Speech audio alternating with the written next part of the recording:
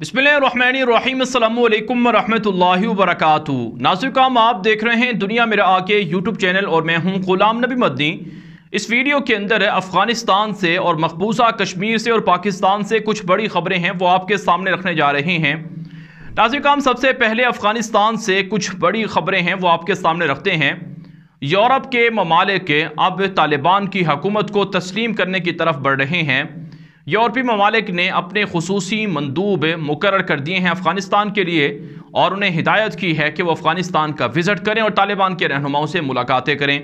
اسی حوالے سے ناظرکام آج کی بڑی خبر سامنے آ رہی ہے کہ جرمنی اور ہالینڈ کے جو خصوصی نمائندہ برائے افغانستان ہیں، انہوں نے آج کابل کا وزٹ کیا ہے جو طالبان کے نائب وزیر اعظم اول ہیں ملا عبدالغنی برادر، ان سے ملاقات کی ہے۔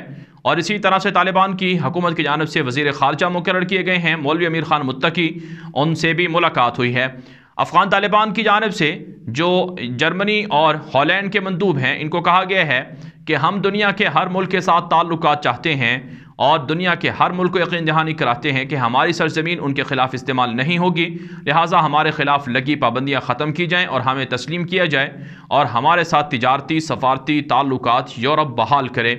ناظر کام یورپ سے آئے ہوئے جرمنی اور ہالینڈ کے اس مندوب نے طالبان کے ساتھ ہے جو اپنی حکومت کا موقف ہے وہ بھی شیئر کیا ہے اور کہا ہے کہ ہماری حکومت بھی چاہتی ہے کہ آپ کے ساتھ تعلقات رکھے جائیں، لیکن اس کے لیے آپ کو ہمارے کچھ مزید مطالبات ہیں، انہیں پورا کرنا ہوگا۔ طالبان کہتے ہیں کہ ہمیں اندرونی معاملات کے اندر یورپ سے ڈکٹیشن لینے کی ضرورت نہیں ہے اور نہ ہی یورپ کو ہمارے اندرونی معاملات میں انٹرفیئر کرنے کی ضرورت ہے۔ ہماری حکومت میں کون شامل ہو، کون نہ ہو، اس کا فیصلہ یورپ نے نہیں، بلکہ ہم نے خود کرنا ہے۔ ہماری عوام نے کرنا ہے۔ جب ہم یورپ کے، جرمنی یا کسی اور ملک کے اندرونی سیاسی معاملات کے اندر دخل اندازی نہیں دے سکتے ہیں، تو انہیں بھی ہمارے اندرونی معاملات کے اندر دخل اندازی کا اختیار نہیں ہونا چاہیے۔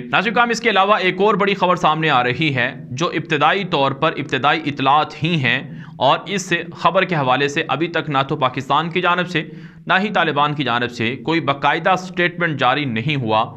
یہ سوشل میڈیا پر اور انٹرنیٹ پر گردش کرنے والی خبر ہے، جس کو آپ تک پہنچانا ضروری ہے اور اس پر پھر اپنی رائے اور تجزیہ اور تبصرہ بھی آپ کے سامنے رکھیں گے۔ ناظر کام، خبر یہ سامنے آ رہی ہے کہ پاکستان نے امریکہ کو اپنی ایئر سپیس استعمال کرنے کی اجازت دے دی ہے۔ پاکستان اور امریکہ کے درمیان نیا ایئر سپیس کے حوالے سے جو فوجی معاہدہ ہے، وہ تشکیل پا گیا ہے اور تمام کے تمام جو چیزیں ہیں، انہیں طے کر لیا گیا ہے۔ اس سے رپورٹ کے اندر یہ بات کہی گئی ہے کہ پاکستان نے امریکہ کو کہا ہے کہ صرف بلوچستان کے ذریعے سے ایئر کوریڈور بولی وارڈ استعمال کیا جا سکتا ہے۔ یعنی اگر افغانستان کے اندر امریکہ نے کوئی کاروائی کرنی ہے یا اپنے جہازوں کو لے کر جانا ہے، تو پھر پاکستان کا صرف بلوچستان کا علاقہ ہے۔ وہاں پر ایک مخصوص جو ایئر کوریڈور ہے، اسے استعمال کیا جا سکتا ہے۔ اور امریکہ اپنے ملٹری جو جہاز ہیں، ان کو وہاں سے گزار سکتا ہے۔ ناظرین اس رپورٹ کے اندر یہ بات بھی کہی گئی ہے کہ امریکہ اگر انٹیلیجنس بیس کوئی آپریشن افغانستان کے اندر کرنا چاہتا ہے، تو اس کے لیے پاکستان کی آرمی سے، پاکستان کی ایئر فورس سے اور اسی طرح سے افغانستان کی حکومت سے اجازت لینا ہوگی، اس کے بغیر امریکہ پاکستان کی ایئر سپیس استعمال نہیں کر سکے گا۔ ناظرین اس رپورٹ کے اندر یہ بات بھی کہی گئی ہے کہ جو امریکہ پاکستان کی ساتھ جو نیا معاہدہ ہوا ہے، اس معاہدے کے بعد پاکستان اور امریکہ کے تعلقات میں بہتری آئے گی اور امریکہ نے پاکستان کو مزید ملٹری اکوپمنٹ اور ہتھیار بھیجنے یا فروخت کرنے کا بھی اندیا دیا ہے۔ آپ جانتے ہیں، پاکستان کے وزیر اعظم عمران خان نے امریکہ کو ایپسلوٹلی ناٹ کہا تھا کہ ہم امریکہ کو اپنے فوجی اڈے نہیں دے سکتے ہیں۔ لیکن بعد میں کئی بار یہ دعوے سامنے آتے رہے ہیں کہ پاکستان اور امریکہ کے درمیان بات چیت ہو رہی ہے فوجی اڈوں کے حوالے سے۔ لیکن حکومتی جماعت اور حکومت اس کا انکار کرتی رہی ہے اور اب بھی حکومت کی جانب سے کوئی موقف واضح سامنے نہیں آیا ہے۔ اور پاکستان کے وزیر خارجہ، پاکستان کی وزارت خارجہ کے ترجمان اور دیگر لوگ بھی اسی حوالے سے اس معاہدے کی نفی کر چکے ہیں۔ لیکن سوشل میڈیا پر یہ خبر گردش کر رہی ہے کہ پاکستان اور امریکہ کے درمیان معاہدہ طے پا گیا ہے اور یہ معاہدہ کوئی انہونی معاہدہ نہیں ہے۔ یعنی یہ کوئی صرف پاکستان نے امریکہ کے ساتھ فوجی معاہدہ اس طرح کا ایئر سپیس کا معاہدہ نہیں کیا ہے، بلکہ اس طرح کا معاہدہ نیٹو کے ممالک نے امریکہ کے ساتھ کر رکھا ہے، افریقہ کے ممالک نے کر رکھا ہے۔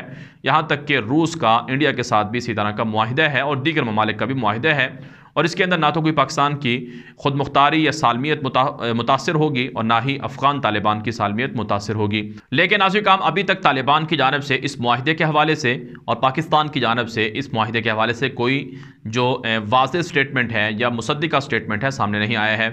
ناظر کام اس طرح کا معاہدہ ٹھیک ہے، دنیا کے بہت سے ملکوں کا امریکہ کے ساتھ ہوگا۔ اور پاکستان کا بھی اس طرح کا معاہدہ کوئی یہ پہلی مرتبہ نہیں ہے، بلکہ ڈکٹیٹر مشرف کے زمانے سے اور اس سے پہلے سے اس طرح کا معاہدہ موجود ہے۔ لیکن اس معاہدے کے اندر امریکہ نہ تو پاکستان کے اندر ڈرون حملے کرے اور نہ ہی افغانستان کے اندر ڈرون حملے کرے۔ اس کی اجازت نہیں ہونی چاہیے۔ جس طرح سے اس معاہدے کے اندر بھی بات کہی گئی ہے کہ طالبان سے یعنی افغانستان کی حکومت سے اور پاکستان کی آرمی اور ایئر فورس سے اس کی اجازت لینا ہوگی۔ ظاہر سی بات ہے ہر ایسے آپریشن کے لیے اجازت نہیں دی جائے گی، جس کی جس کے لیے امریکہ کی خواہش ہوگی۔ افغان طالبان بھی امریکہ کو کہہ چکے ہیں کہ ہم آپ کے ساتھ معاہدہ کرنا چاہتے ہیں۔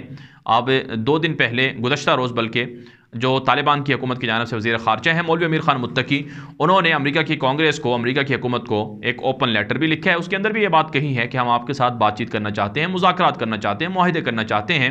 اور ایئر سپیس کے حوالے سے بھی امریکہ کو طالبان نے کہا تھا کہ آپ ہماری ایئر سپیس کی بغیر معاہدے کے خلاف ورزی نہیں کر سکتے ہیں، ہم آپ کے جہازوں کو گرا سکتے ہیں۔ تو امریکہ طالبان کے ساتھ بھی اسی طرح کا معاہدہ کرے گا اور چائنا اور رشیا اور دیگر ممالک بھی طالبان کے ساتھ اس طرح کا معاہدہ کریں گے۔ تو یہ باہمی معاہدہ ہو سکتا ہے، ٹھیک ہے، لیکن جس سے طالبان کی سوورنٹی یا افغانستان کی سوورنٹی خود مختاری اور پاکستان کی سوورنٹی خود مختاری متاثر ہو، اس طرح کے معاہدے کی اجازت قطن نہیں دی جا سکتی ہے۔ ناظر کام، اب آپ کو مقبوضہ کشمیر سے جو آج کی تازہ صورتحال ہے وہ آپ کے سامنے رکھتے ہیں۔ مقبوضہ کشمیر کے اندر بھارتی فوج نے تین روز پہلے حیدر پورہ سری نگر کے اندر جعلی انکاؤنٹر کیا تھا، جس کے اندر چار عام شہری شہید ہو گئے تھے۔ اس کے اندر ایک ڈاکٹر بھی تھے اور ایک تاجر تھے اور دو دیگر لوگ تھے۔ ان چار جو عام شہری جن کو شہید کیا گیا ہے، ان کی میتیں ابھی تک وہ رسا کے حوالے نہیں کی گئی ہیں، جس وقت میں ویڈیو ریکارڈ کر رہا ہوں، اس وقت تک کی اطلاعات یہ ہیں۔ اور گزشتہ دو دنوں سے جو وہ رسا ہیں، وہ میتوں کے لیے احتجاج بھی کر رہے ہیں۔ گزشتہ رات کو بھی احتجاج ہوا تھا، لیکن بھارتی پولیس نے، بھارتی فوج نے دھاوا بولا اور وہاں جو احتجاج کرنے والے وہ رسا تھے، ان کو گرفتار بھی کیا ہے اور ان کو وہاں سے اٹھا بھی دیا ہے۔ جبکہ آج مقبوضہ کشمیر کے اندر جو بھارتی حکومت کی جانب سے مقرر کردہ لیفٹیننٹ گورنر ہیں، منوج سنہا ان کا نام ہے، ان کا بیان نشر ہوا ہے کہ حیدر پورہ انکاؤنٹر کی تفتیش ہوگی۔ اگر یہ انکاؤنٹر جعلی ہے تو وہ رسا کو اور جو مرنے والے ہیں ان کو انصاف دیا جائے گا، ان پر ظلم نہیں ہوگا۔ ناظر کام، یہ تو وہ لوگ ہیں مقبوضہ کشمیر کے جن کے وہ رسان نے احتجاج کیا، سوشل میڈیا پر خبریں نشر کروا دیں، ویڈیو نشر کر دیں، تو بھارتی میڈیا کو اب اس انکاؤنٹر کی تفتیش کرنے کا اعلان کرنا پڑا اور بھارتی حکومت نے کہا کہ ہم ناانصافی نہیں ہونے دیں گے۔ اس طرح کے کتنے انکاؤنٹر ہیں جو روزانہ کشمیر کے اندر ہوتے رہے ہیں اور آئندہ بھی ہو سکتے ہیں، جن کی، جن کے بارے میں، جن کے ورثہ اگر احتجاج نہ کر سکیں، تو بھارت کا میڈیا اور بھارت کی حکومت اور فوج ان انکاؤنٹر کو اصلی قرار دیتی ہے۔ سچی بات یہ ہے کہ مقبوضہ کشمیر کے اندر جو روزانہ انکاؤنٹر ہو رہے ہیں، جعلی ہیں، فیک ہیں، عام کشمیری شہید ہو رہے ہیں، جو اصل مجاہدین ہیں، ان کا مقابلہ بھارتی فوج نہیں کر رہی ہے۔ پاکستان کے دفتر خارجہ نے اس حوالے سے ایک بیان جاری کیے ہے اور کہا ہے کہ جو مقبوضہ کشمیر کے اندر نہتے کشمیریوں کا قتل ہے، ان کی شہادتیں ہیں۔ یہ قابل مذمت عمل ہے۔ اب کشمیر کے اندر جو لوگوں پر ظلم ہے اس حوالے سے عالمی برادری کو انسانی حقوق اداروں کو اپنا رول پلے کرنا ہوگا۔ ناظرکہ میں ایک اور خبر سامنے آ رہی ہے۔ یہ خبر بھی مقبوضہ کشمیر سے ہے کہ پونچھ سیکٹر کے اندر جنگلات میں بڑے پیمانے پر آگ لگ گئی ہے، جس سے کئی بھارتی تنصیبات کو بھی نقصان پہنچا ہے۔ اور اس آگ کی وجہ سے مقبوضہ کشمیر کے اندر بھارتی فوج کو پونچھ سیکٹر میں کافی مشکلات کا سامنا کرنا پڑ رہا ہے۔ بھارتی میڈیا پر دعویٰ سامنے آ رہا ہے کہ یہ آگ پاکستان نے لگائی ہے تاکہ مجاہدین کو کشمیر کے اندر گھسایا جا سکے۔ بھارتی میڈیا میں ریپبلک ٹی وی ہے، جو مودی دہشت گرد کا فنڈڈ چینل ہے، اس پر یہ رپورٹ نشر ہوئی ہے کہ دراصل پاکستان یہ ٹیکٹک استعمال کرتا ہے کہ جنگلات کے اندر ایل او سی کے قریب آگ لگا دیتا ہے تاکہ مجاہدین کو اندر گھسایا جائے اور ان کی مدد کی جائے، ان کو اسلحہ دیا جائے اور بھارتی فوج ان علاقوں میں نہ آ سکے جہاں پر اسلحہ ہے۔